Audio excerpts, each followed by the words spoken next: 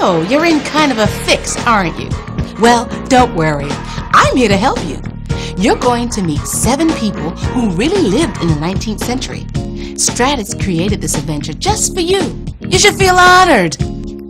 This screen is called the media screen. On the top right are five buttons text, video, music, art, and literature. When they're highlighted, you can click them. All three of the games that you're going to play are behind the text button. The counter is right below the media button. And below the counter, you can see the map button, the go back button, the OK button, and the quit button. Go ahead, look around. Remember, when you're ready to play the games, click the text button. To play three different games to get back, strategy, clue, and word. To win, you have to play all three games. If you don't get enough points, you might miss your senior prom. well, just kidding. When you're ready to play a game, just click one of the three buttons at the top of this screen.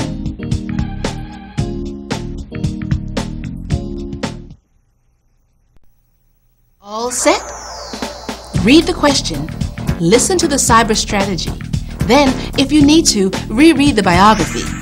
Click your answer and then click OK. You need 900 points to get back to my house. Look at this score. You beat Stratus. Ready? Here's how to play the word game. Listen to the cyber conversation. Then find the sentence that uses the word correctly. Click your answer. Then click OK. Wonderful! You're absolutely correct. You're a genius. Fantastic! You got it! Stratus.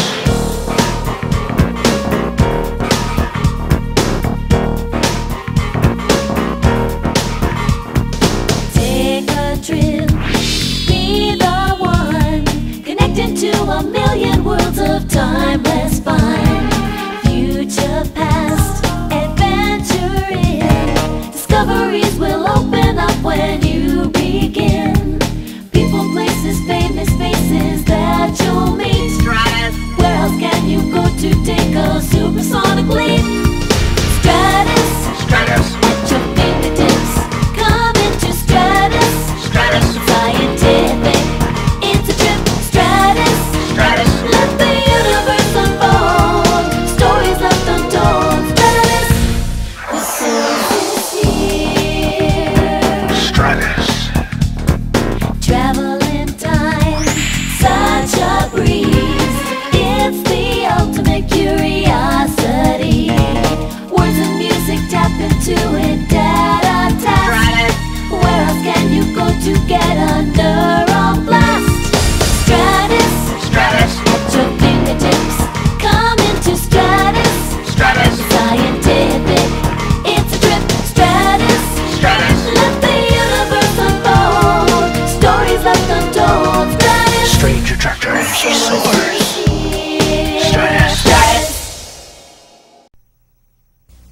Excellent! Keep up the good work.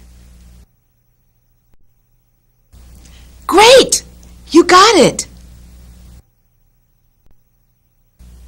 You're absolutely correct! Good work! You're great! Here's the correct answer. Keep on trying. I know you can do it. Okay, here's the right answer. Don't give up. I'm counting on you. Think about it, then try again. Try again. You can do it. Now don't dawdle. Here's how to play the clue game. After you've read the biography, read the riddles. Find the riddle that describes the person whose biography you're in. Highlight the riddle and then click OK.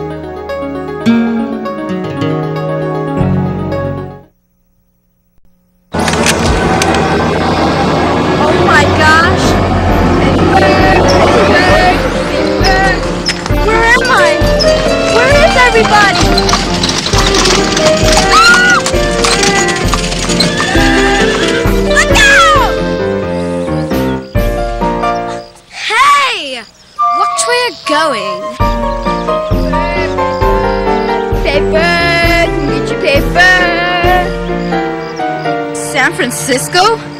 1906? What am I doing here? I'm not even born yet. Sarah, can you hear me? Miss Stafford? Where are you? Look at your Stratus navigator. What happened? Well, let's figure it out. Do you know where you are? San Francisco, April 18, 1906. Wait a second. I know that date. That's the date of the San Francisco earthquake. Did you say earthquake? Can you get me out of here right now? Listen to me, Sarah. You can get back, but you've got to play the game. I don't want to play a game. Stratus will show you how. I've got to go find the other kids. I'll check back with you when I can. Wait, how much time do I have? Not much. You better hurry. The earthquake could hit at any time. Good luck. Oh boy.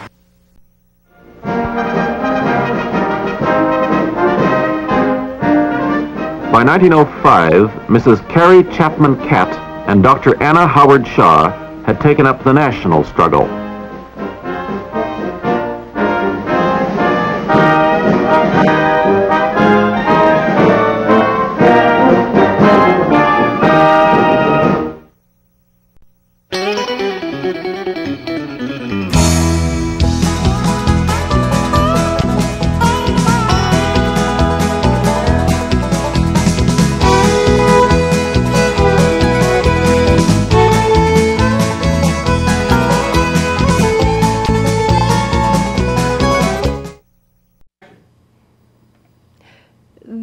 My first American appearance since many years of living and performing in Europe.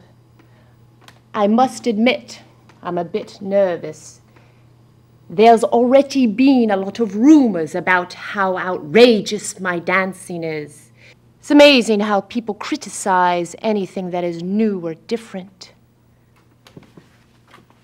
Dance should be free from rules. It should come from the solar plexus, here, not back here. I look to nature for inspiration. I try to move the way a panther climbs a tree, or the way grass blows in the wind, or the way waves crash onto the beach. There's my cue. Wish me luck.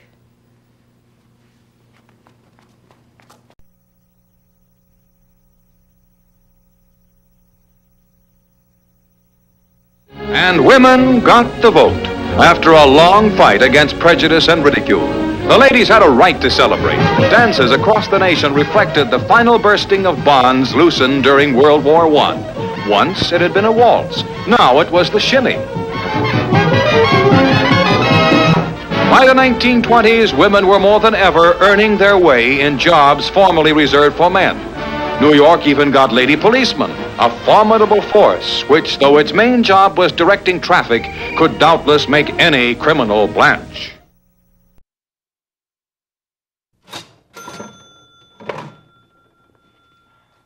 Just came back from Fort Gunny over on Montgomery Street. That's where the Vigilance Committee hands out justice. The committee's business today involved the killers of one James King. He was a reporter who was murdered in broad daylight for criticizing the current city government. The committee aimed a cannon at the front door of the jail and gave the keeper 10 minutes to let go of King's murderers. Once in their custody, the criminals were taken over to Fort Gunny, where they were tried, convicted, and executed by hanging. The whole thing took less than an hour. This is, after all, the frontier where gamblers and dishonest politicians hold the city government. Maybe justice was served, but was it right for them to take the law into their own hands?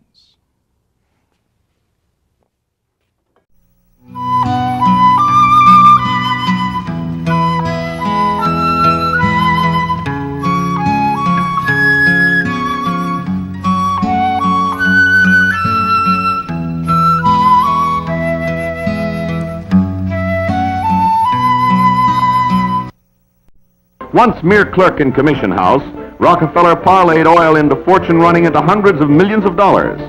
But by 1921, he had given over half billion to philanthropic and charitable organizations and established famed Rockefeller Foundation, corporation whose business is charity. Lincoln Steffens was a progressive journalist. His book on urban conditions he called The Shame of the Cities. Ray Stannard Baker exposed corruption in the mines and railroads. The muckrakers, as they were called, believed exposure could lead to reform. Upton Sinclair would become the most famous muckraker of the decade. In 1906, he published a novel about the meatpacking industry. It was called The Jungle. Sinclair revealed that rancid and tubercular beef, rats, and garbage got canned right along with the good meat. The jungle caused a public furor. Investigations proved the charges correct and increased public demand for a federal meat inspection law.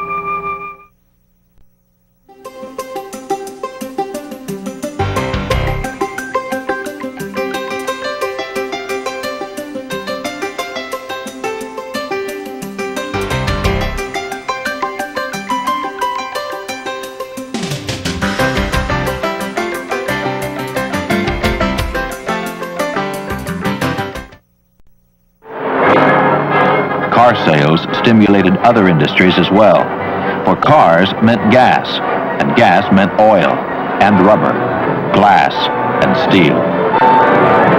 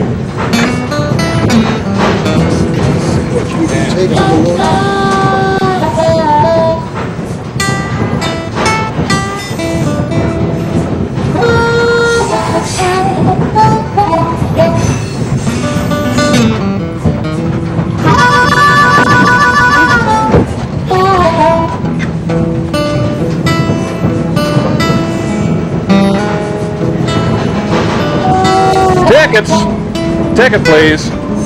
Ticket? Yeah. You need a ticket to ride on my train. I don't even know how I got here. Uh-huh. No ticket, no ride. You're off at Mud Run. Where's Mud Run? wait, wait, what's the date? October 10th, 1888. Wow, 1888. This is cool.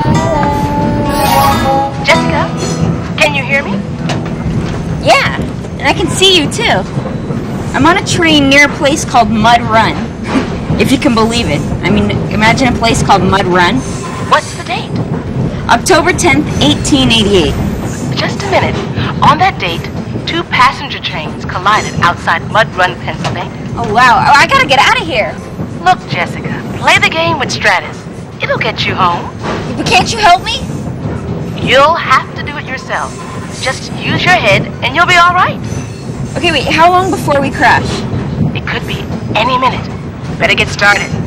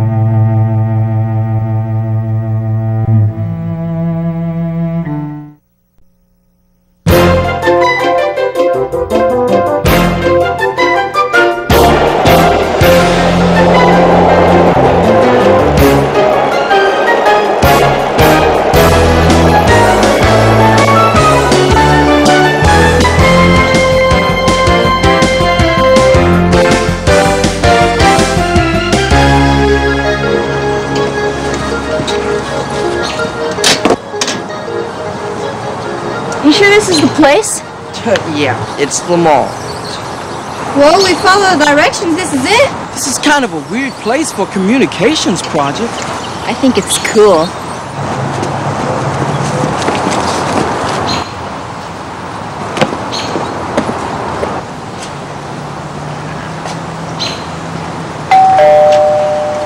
Well, it doesn't look like anybody's home. Let's go. You're late.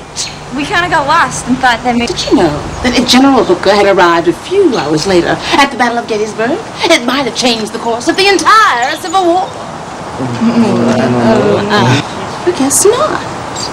Did you know that time is relative and it rarely flows in one direction? Well, don't dawdle. Follow me. After you. Welcome to my home. Look around. Look around. Look around. This is cool.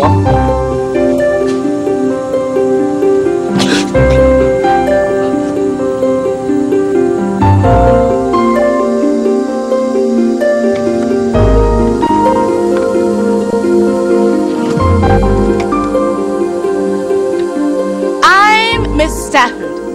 Now, let me get your name straight.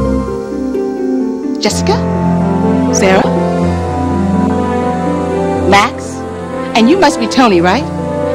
And Mr. Marashiro sent you here to experience the future of communication. Well, it's all right here in front of you. You mean all these antiques? I've already given you a hint.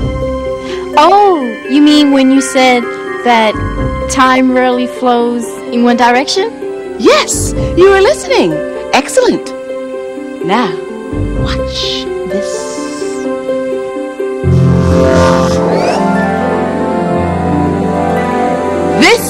Stratus.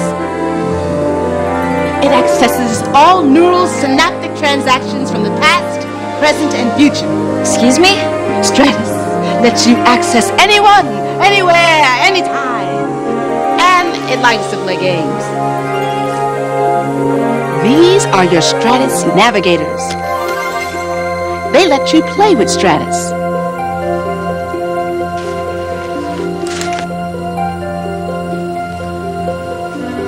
Okay, now, let's get started. Oh. What happened? Stratus is pretty quirky.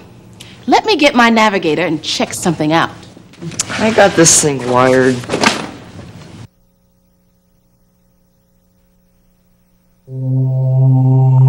Tony, what did you do? Hmm. Um, I don't know, but I have a bad feeling about this.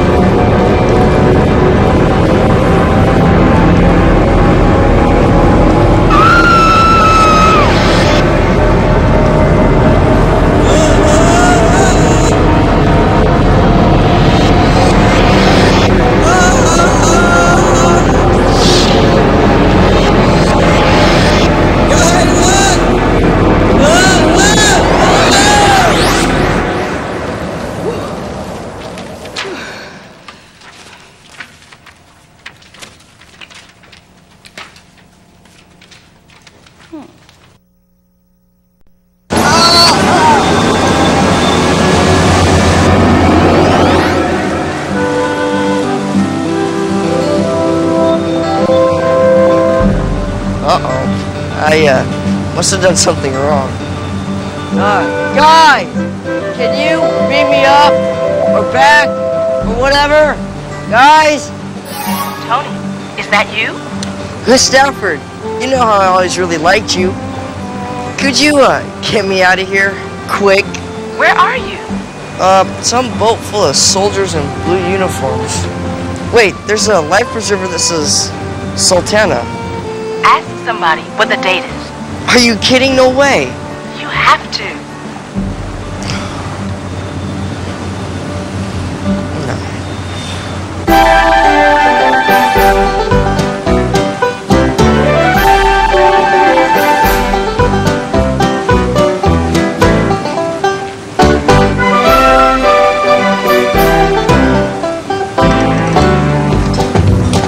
Excuse me, sir.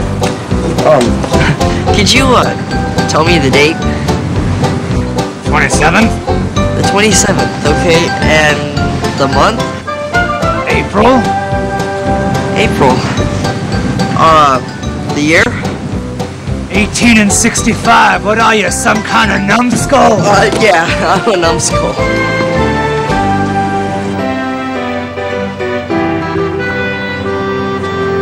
Did you hear that? Tony, I checked the database. On April 27, 1865, a riverboat called the Sultana exploded on the Mississippi. I can't get blown up. I just got my driver's permit. Tony, calm down. Stratus will get you home, but you've got to play the game. Okay, so how long do I have till the, you know, the Big Bang? It doesn't give the exact time, but it could happen at any minute. Okay, so what do I have to do? Just play the game, Tony.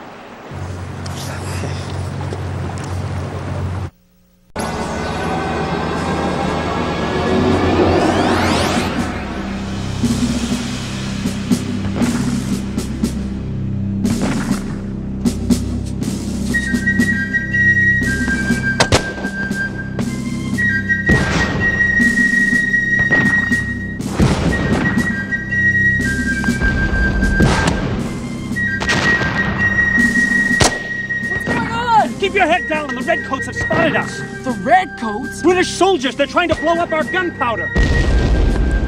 Come on, we gotta get out of here. We won't be any good to Old Hickory in little pieces. Come on, let's get. Max, can you hear me? I can hear you. What happened? Never mind the details.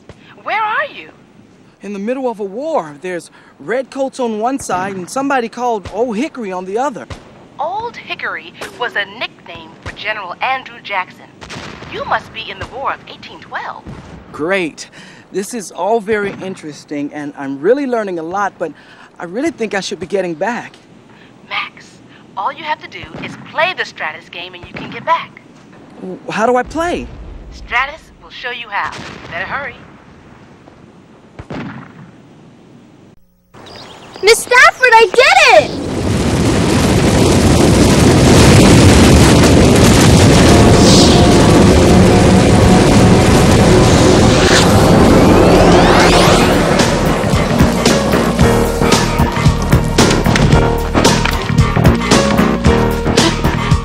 Are you okay? I will be as soon as this road stops shaking. Sarah, you're back. There's no earthquake here. Oh, I knew that.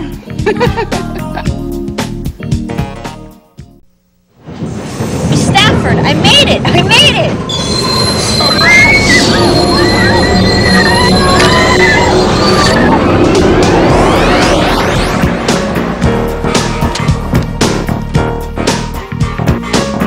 Glad you made it back. So, how was it? I was terrified. I was petrified. I was mesmerized. when can I go back? All right, that was a piece of cake. Okay, Stratus, open sesame. Stratus, open sesame. Stratus, what's the hold up? Open up. Stratus!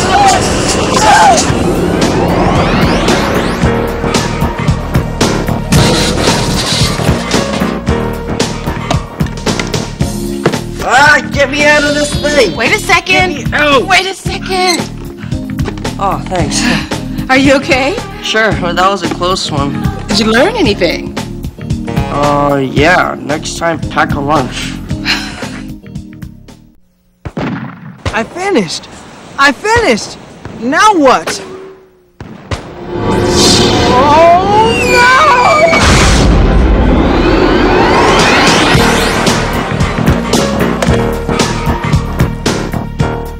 no! Looks like you made it. What?